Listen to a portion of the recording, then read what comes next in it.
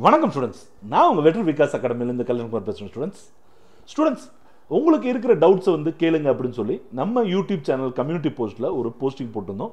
Maybe நீங்கள் நிறைய பேர் பார்த்துருக்கான் அதில் அதில் இருக்க கேட்டிருக்க எல்லா டவுட்டையும் நான் ஒரே வீடியோவில் கிளியர் பண்ணிடலாம்னு நினச்சேன். பட் வந்து பார்த்தீங்கன்னா ஒரே டவுட் வந்து ஆல்மோஸ்ட் என்னோட எல்லா வீடியோஸ்லையுமே அந்த டவுட்டை ஸ்டூடெண்ட்ஸ் கேட்டுகிட்டே இருக்கிறாங்க. என்ன அப்படின்னா சார் எனக்கு இன்ட்ரெஸ்ட் வர மாட்டேங்குது சார் படிக்கிறதுல. என்னால் புக் எடுத்துகிட்டு உட்காந்து படிக்கவே முடியல சார். படிக்கிறதுக்கு மூடே வர மாட்டேங்குது சார். படித்தாலும் அது வந்து ஞாபகத்தில் இருக்கிற மாதிரி தெரில சார். அப்படின்னு நிறைய ஸ்டூடெண்ட்ஸ் கேட்டிருக்காங்க ஸ்டூடெண்ட்ஸ் ஸோ இது வந்து இந்த வீடியோ வந்து ஸ்டூடெண்ட்ஸ்க்கும் பேரண்ட்ஸ்க்கும் ரெண்டு பேருக்கு சேர்த்து தான் இப்போ நான் பேச போகிறது ஸ்டூடெண்ட்ஸ்க்காக சரிங்களா? ஸ்டூடெண்ட்ஸ் நல்லா யோசித்துக்கோங்களேன். எந்த இடத்துல இன்ட்ரெஸ்ட் குறையும் அப்படின்னு கேட்டிங்கன்னா உங்களுடைய மனசில் ஒரு சின்ன குற்ற உணர்ச்சி ஏற்படும் போது உங்களுடைய இன்ட்ரெஸ்ட் ஆட்டோமேட்டிக்காக குறையும் சரிங்களா? என்ன சார் குற்ற உணர்ச்சி பெரிய வார்த்தையெல்லாம் சொல்கிறீங்களே சார் அப்படின்னா வேறு ஒன்றும் இல்லை ஸ்டூடெண்ட்ஸ் உங்கள் மனசுக்குள்ளே என்ன இருக்கும் அப்படின்னு கேட்டிங்கன்னா என்ன தான் நீங்கள் டிவி பார்த்துக்கிட்டு இருந்தாலும் கம்ப்யூட்டரில் கேம்ஸ் விளாண்டுட்டு இருந்தாலும் வாட்ஸ்அப் இல்லை ஏதோ மொபைல் நோண்டிக்கிட்டு இருந்தாலும் மனசுக்குள்ளே ஐயோ எக்ஸாமுக்கு படிக்காமல் இருக்கிறமே அப்படின்ற ஒரு கில்ட்டி ஃபீலிங் இருக்கும் சரிங்களா? இன்னொரு இன்னொரு விஷயத்தையும் எடுத்துக்குவோம். இப்போ நான் ஒரு மூணு பாடம் படிக்கணும்னு நினச்சி இன்றைக்கி உட்கார்றேன். ஒரு ஒரு மணி நேரம் வந்து பல்ல கடிச்சிட்டு என்னத்தையோ ஒரு பாடம் படித்து முடிச்சிட்டேன். அடுத்த ரெண்டு பாடத்தை கொஞ்ச நேரம் கழித்து படிப்போம்னு நினச்சிருப்போம். ஆனால் ஒரு ஒரு மணி நேரம் கழிச்சு படிப்போம்னு நினச்சிருப்போம். அந்த ஒரு மணி நேரம் முடியும் போது இன்னும் ஒரு அரை மணி நேரம் கழிச்சு படிப்போம் அப்படின்னு நினைப்போம். அப்புறம் ஒரு அரை மணி நேரம் முடியும் போது சரி இன்னும் நாள் இருக்குல்ல. ஒரு ரெண்டு மணி நேரம் கழிச்சு படிப்போம் அப்படின்னு நினைப்போம். கடைசியில் அதை படிக்காமலே விட்டுருவோம். ஆனால் தூங்கும்போது பார்த்தீங்கன்னா படுக்கும்போது பார்த்தீங்கன்னா அது உள்ளுக்குள்ளே உறுத்திக்கிட்டே இருக்கும் நமக்கு. ஐயோ படிக்காம முட்டமே படிக்காம முட்டமேன்னு இதை தான் நான் கில்ட்டி ஃபீலிங்னு சொல்கிறேன் ஸ்டூடெண்ட்ஸ் இந்த ஃபீலிங் என்ன ஆகும் அப்படின்னு கேட்டிங்கன்னா அடுத்த நாள் நீங்கள் காலையில் இருந்துச்சு புக் எடுக்கும்போது உங்களுக்கு ஒரு நாள் ஃபுல்லாக இருந்த அந்த கில்ட்டினஸ் என்ன பண்ணும் அப்படின்னு கேட்டிங்கன்னா அடுத்த நாள் உங்களோட படிக்கிறதுல இன்ட்ரெஸ்ட்டை குறைச்சிரும். சரிங்களா? முதல்ல ஒரு விஷயத்தை புரிஞ்சுக்கோங்க. நீங்களும் நானும் வெறும் மனுஷங்க தான். சரிங்களா? நமக்கு மூளை எந்த அளவுக்கு இருக்கோ அதே அளவுக்கு மனசுன்னு ஒன்று இருக்குது சரிங்களா? மூளை எப்போதுமே நமக்கு சரியானதை சொல்லும் மனசு நமக்கு எப்போதுமே பிடிச்சதை சொல்லும் சரிங்களா? ஸோ ரெண்டும் சேர்ந்தது தான் மனுஷங்கன்றது ஓகே அப்படின்ற பட்சத்தில் நீங்கள் ஒரு நாளை வேஸ்ட் பண்ணிட்டேன்னு நினைக்க வேண்டாம் சரிங்களா? மூளை சொல்றதை கேட்கல மனசு சொன்னதை கேட்டேன்னு நினச்சிக்கோங்க. அடுத்த நாள் மூளை சொல்றதை கேளுங்க சரிங்களா? நான் சொல்றது புரியுதா புரியலையா ஸ்டூடெண்ட்ஸ் கண்டிப்பாக அந்த கில்ட்டி ஃபீலிங்கை விடுங்க. இத்தனை நாள் இருபது நாள் இருபத்தஞ்சி நாள் ஆச்சு இது வரைக்கும் லீவ் விட்டு. நான் படிக்கவே இல்லையா? என்ன பிரச்சனை? ஒரு ப்ராப்ளமும் கிடையாது. இது ஒரு அனுவல் லீவாக எடுத்துக்கோங்க சரிங்களா? நீங்கள் ஒன்றும் வேணுக்குன்னு சொல்லிட்டு பரிச்சுக்கு போகாமலையோ இல்லை ஸ்கூலுக்கு போகாமலையோ வீட்டில் கட்டடிச்சிட்டு உட்காரலையே? இல்லை கவர்மெண்ட்டு வேணுக்குன்னு சொல்லி நமக்கு லீவ் கொடுக்கலையே? அப்படி ஒரு சுச்சுவேஷன் ஆயிடுச்சு அதனால் நீங்களும் நானும் வீட்டில் இருக்க வேண்டிய சுச்சுவேஷன் ஆயிடுச்சு ஸோ தட் நீங்கள் தயவு செய்து என்ன பண்ணாதீங்க அப்படின்னா அந்த கில்ட்டி ஃபீலிங்கை வச்சுக்காதீங்க சரிங்களா? ஸோ இன்னொரு விஷயத்த சொல்கிறேன் ஸ்டூடெண்ட்ஸ் நீங்கள் நியூஸ் பேப்பரில் அல்லது டிவியில் இல்லைன்னா வாட்ஸ்அப்பில் இல்லைன்னா யூடியூப்பில் இல்லை ஏதோ ஒன்றில் பார்த்துருக்கலாம். அமெரிக்காவில் ஒபாமாவோட பொண்ணு ஹோட்டலில் சர்வராக ஒர்க் பண்ணுச்சு. இந்த நாட்டில் இந்த விஐபியோட பையன் இந்த ஒர்க் பண்ணா அப்படின்னு சொல்லி உலகத்தில் இருக்கக்கூடிய எத்தனையோ பணக்காரங்க தட் மீன்ஸ் விஐபி விவிஐபியோட பசங்க வந்து பார்த்தீங்க அப்படின்னா ஏதோ ஒரு சாதாரண சின்ன வேலையை பார்த்துட்டு அவங்க படிப்புக்கு அவங்களே செலவு பண்ணுற மாதிரி ஈவன் நம்ம ரத்தன் டாட்டா இருக்கார் பார்த்தீங்களா அவரே பார்த்தீங்க அப்படின்னா இங்கிலாந்தில் படிக்கும்போது அவர் வந்து ஒரு ஹோட்டலில் சர்வ் பண்ணி ஒர்க் பண்ணியிருக்காரு மேபி அவருக்கு அந்த சுச்சுவேஷன் இல்லைன்னா கூட அந்த மாதிரி ஒர்க் ஒர்க் பண்ணி தன்னோட செலவுகளை தானே சமைச்சிருக்காரு சரிங்களா? ஸோ உலகம் ஃபுல்லாக ஒரு கல்ச்சர் இருக்குது என்ன அப்படின்னா பதினாறு வயசுக்கு மேலே குழந்தைகள் தான் சொந்த காலில் தான் நிற்கணும் தட் மீன்ஸ் அவங்களோட படிப்பு செலவெல்லாம் அவங்களே பார்த்துக்கணும் அப்படின்ற மாதிரி ஒரு கல்ச்சர் இருக்குது பதினாறு வயசுக்கு மேலே எந்த பேரண்ட்டும் தான் குழந்தைக்கு வந்து ஃபீஸ் கட்டுறதுக்கோ இதுக்கோ சப்போர்ட் பண்ண மாட்டாங்க. நல்லா தெரிஞ்சுங்க நைன்ட்டி பர்சன்டேஜ் ஆஃப் கண்ட்ரீஸில் நைன்ட்டி பர்சன்டேஜ் ஆஃப் பேரண்ட்ஸ் இப்படி தான் ஆனால் தனக்கு தனக்கு உயிரே போனாலும் பரவாயில்ல. தனக்கு ஒரு ரெண்டு கிட்னியும் எடுத்துட்டாலும் பரவாயில்ல.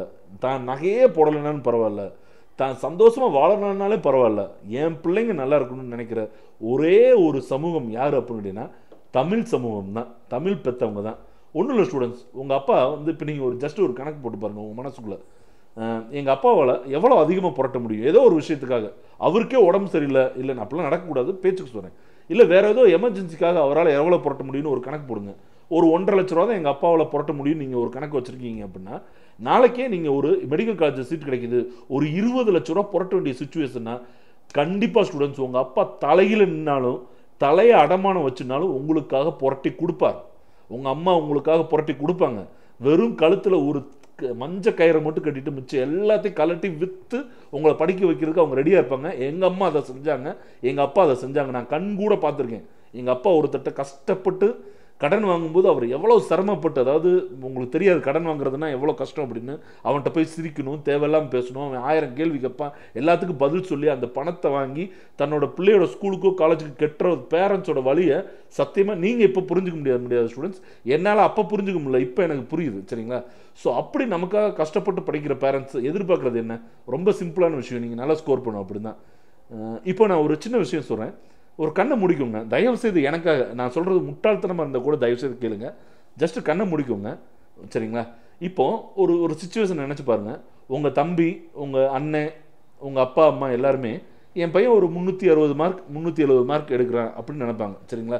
நினச்சிக்கிட்டு இருக்காங்க அல்லது நம்பிட்டு இருக்காங்கன்னு வச்சுக்கோங்க உங்கள் ஸ்கூல் டீச்சர்ஸ் வந்து இந்த பையன் கடைசியில் நல்லா கொஞ்சம் நல்லா படிச்சானே ஒரு நானூற்றி பத்து மார்க் எடுப்பான் அப்படின்னு நினச்சிட்டு இருக்காங்க. சரிங்களா? பட் உங்களுக்கு நீங்கள் எக்ஸாம் சூப்பராக பண்ணியிருக்கீங்க ஃபோர் சிக்ஸ்டிக்கு மேலே மார்க் வரும்னு உங்களுக்கு நல்லா தெரியும். ஆனால் வெளியே சொல்கிறதுக்கே ஒரு கூச்சப்பட்டு ஒரு ஒரு சுச்சுவேஷன் இப்படி ஒரு சுச்சுவேஷன் வச்சுக்கோங்க. கண்ணை மூடிட்டு இதை யோசித்து பாருங்கள் சரிங்களா? எக்ஸாம் ரிசல்ட் வருது. ஃபோர் சிக்ஸ்டி செவன் மார்க் நீங்கள் எடுக்கிறீங்க.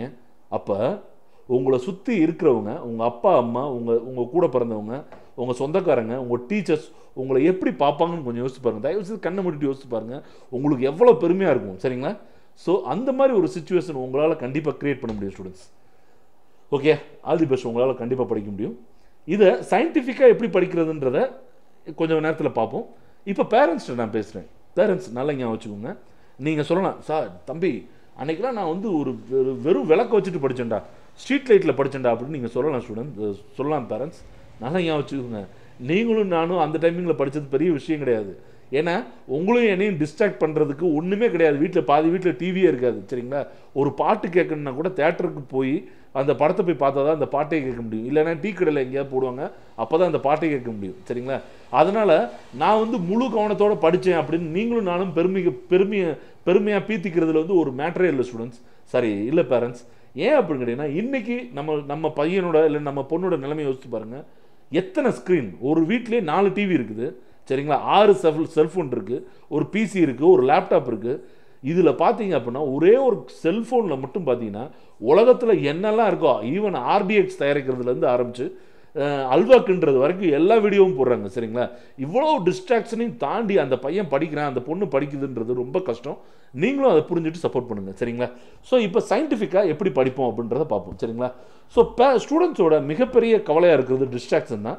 அதாவது செல்ஃபோன் மற்ற விஷயங்கள்லாம் நம்மளை டிஸ்ட்ராக்ட் பண்ணுறது தான் அதுக்கு நான் உங்களுக்கு என்ன சொல்கிறேன்னா ரிவார்ட் யுவர் செல்ஃப் இதெல்லாம் இனிமேல் கொஞ்சம் ஸ்பீடாகவே போயிடலாம். நான் கொஞ்சம் நிறைய பேசிட்டேன்னு நினைக்கிறேன் ஸ்டூடெண்ட்ஸ் தயவுசெய்து மன்னிச்சுக்கோங்க. இனிமேல் நம்ம சொல்கிற ஃபேக்ட்ஸ் வந்து கொஞ்சம் வேகமாக பார்த்துடலாம் சரிங்களா? ஸோ ரிவார்ட் யுவர் செல்ஃப் அப்படின்னா என்ன அப்படின்னா ஸ்டூடெண்ட்ஸ் ஒன்று நீங்கள் ஒரு பேப்பரை எடுத்துட்டு அன்றைக்கி உங்களோட டியூட்டிஸ் போடுங்க. அதுக்கப்புறம் உங்களுக்கு பிடிச்சதை போடுங்க சரிங்களா? இப்போ உதாரணத்துக்கு இதில் பார்த்தீங்கன்னா தெரியும். Tamil memory poem மேத்ஸில் graph third model English grammar science second lesson social சயின்ஸில் ஒன் வேர்ட்ஸ் இப்படி ஒரு அஞ்சு டியூட்டி இருக்கிறத வச்சுக்குவோம் சரிங்களா? உங்களுக்கு பிடிச்சதெல்லாம் இந்த பக்கம் எழுதுங்க. மூவியில் நெட்ஃப்ளிக்ஸில் ஒரு மூவி பார்க்குறது. Chatting with friends photo editing for social search அதாவது நீங்கள் ஃபோட்டோலாம் எடிட் பண்ணி சோ வாட்ஸ்அப் ஸ்டேட்டஸ் ஃபேஸ்புக் ஸ்டேட்டஸ்லாம் போகிறீங்களா அந்த மாதிரி ஒரு வேலை. பப்ஜி கேம் விளாட்றதா இருக்கட்டும் வாட்சிங் டிவியாக இருக்கட்டும் சரிங்களா? இது எல்லாத்தையும் எழுதுங்க சரிங்களா?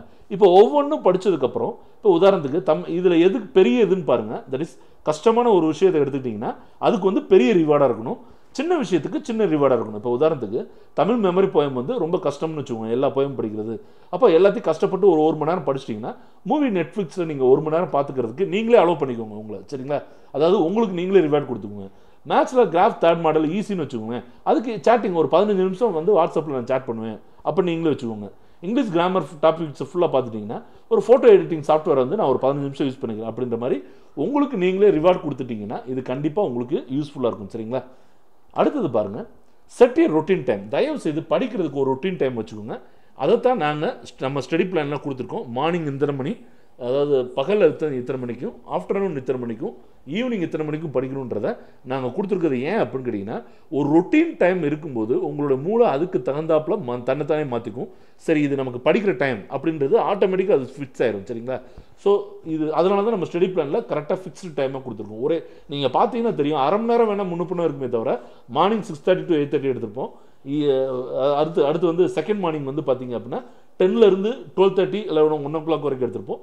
திருப்பி evening three thirty to four thirty எடுத்துப்போம். அடுத்து லேட் ஈவினிங் வந்து சிக்ஸ் ஓ கிளாக் வந்து எயிட் தேர்ட்டி வரைக்கும் எடுத்துப்போம். இந்த டயத்தை வந்து ரொட்டீனாக நம்ம ஏன் பண்ணுறோம் அப்படின்னா அப்போ தான் நம்ம படிக்கிறதுக்கு மூளை தன்னாத்தானே செட் பண்ணிக்கணும் சரிங்களா?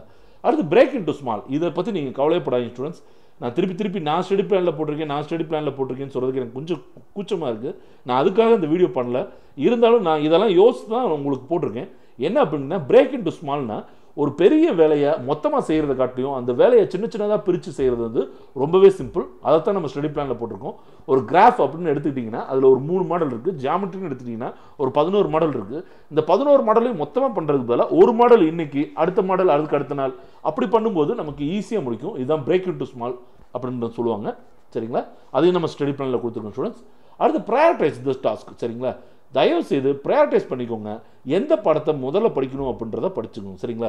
இன்றைக்கி நம்ம ஒரு அஞ்சு மணி நேரம் நம்ம படிக்கணும்னு நினச்சிட்டோம்னா அந்த அஞ்சு மணி நேரமும் ஒரே சப்ஜெக்டை படிக்காமல் அல்லது கஷ்டமான சப்ஜெக்ட் படிக்காமல் ஒரு ஒரு மணி நேரம் கஷ்டமான சப்ஜெக்ட் ஒரு மணி நேரம் ஈஸியான சப்ஜெக்ட் நீங்களே நம்ம ஸ்டடி பிளானில் போட்டு பா பார்த்துருப்பீங்க. ஒவ்வொரு நாளும் நம்ம ஒரே ஒரு சப்ஜெக்ட்டுக்கு மட்டும்தான் டாப் ப்ரையாரிட்டி கொடுப்போம். அது மட்டும் தான் ரெண்டரை மணி நேரம் படிக்கிற மாதிரி இருக்கும். மற்றெல்லாம் ஒரு மணி நேரத்தில் படிக்கிற மாதிரி கொடுத்துருப்போம் ஸோ நம்மளோட ஸ்டடி பிளானை தயவுசெய்து நீங்கள் தெளிவாக யூஸ் பண்ணிக்கோங்க ஸ்டூடெண்ட்ஸ் ஸோ இந்த வீடியோ உங்களுக்கு பிடிச்சிருக்குன்னு நான் நம்புறேன். பிடிச்சிருந்துச்சுன்னா கண்டிப்பாக கமெண்ட் பண்ணுங்கள் லைக் பண்ணுங்கள் வேறு எதுவும் டவு அடுத்தடுத்த டவுட்ஸை நம்ம அடுத்தடுத்த வீடியோவில் பார்ப்போம். சரிங்களா? நன்றி வணக்கம். தேங்க்யூ